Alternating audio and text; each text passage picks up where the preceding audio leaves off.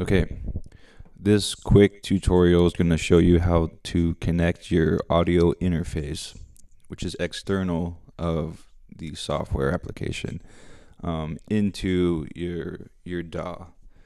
Uh, FL Studio in this one, but they're all pretty much the same. But in this one, we're using FL Studio, so we'll open that. And now we're in FL Studio. You can see I already have a vocal track linked. Um, I don't know where it is, but I think it's on the master. Yeah, anyway. Um, so for your audio interface, you want to come in and choose audio settings. Okay. Now, you would kind of think that you should have this audio setting set to your interface, which in my case, I have an MBox Pro. But that's not really the case. You're going to set the MBox Pro actually in the mixer over here. See how that's set to MBox Pro?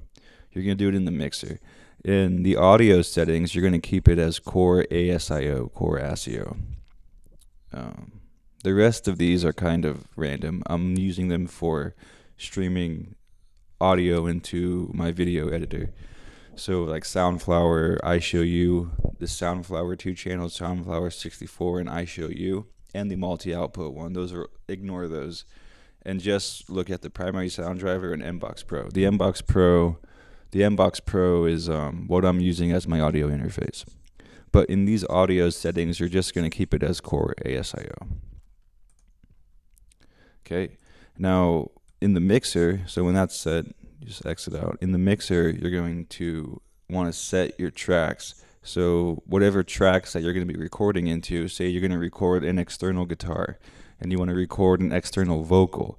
Um, for example, I have a microphone. So on track five here, I'm going to insert.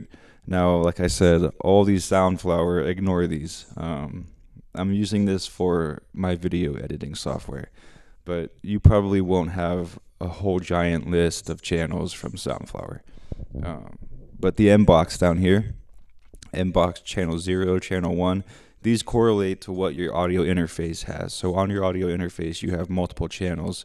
Um, my microphone's coming through channel 1. So I'm going to use channel 1 and now you'll hear the audio kind of change because I have an a, I, I have a compressor on the master, but I'll take that off and the volume's a little quieter now. And for vocal tracks, you kind of want to always have a compressor to bring up the gain, so you can bring the gain up there on a vocal track. So now I'm recording this through track 5. And if I wanted to record a guitar, you plug the guitar into a different channel on your audio interface and then you link it say to track 6.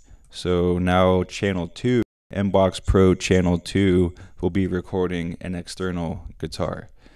Um, but if I wanted to record this this microphone, make sure you always record it with this one up here.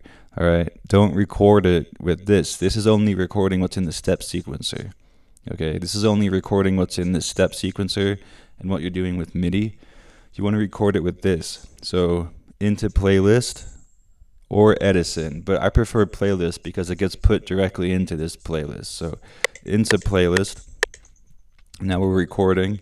Um, this is like live recording right now, and when you so turning it off. Now we're recording. Um, this is like live recording right now, and when you so turning it off. So yeah that's how it works. So it was a live recording. Um, it got both the master because I do have this link to the master, but the master shouldn't have any inputs.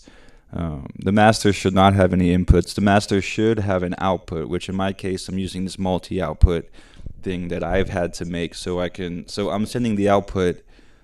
The output of FL Studio is being sent into my video editing software, which is recording the vocals. So I'm channeling it through FL into OS, OBS to record. But you shouldn't have any inputs on the master. You should have the inputs on the individual tracks. So if you want to do that again, you come back to track 5 where the recording is and you just do insert And now this is a live recording. I'm recording this directly into the track. And now this is a live recording. I'm recording this directly into the track. And now this is a. So that's how you do it. Um, if you have any questions, please comment below, like, and subscribe. My name is Epsilon144, and have a great day. Peace out.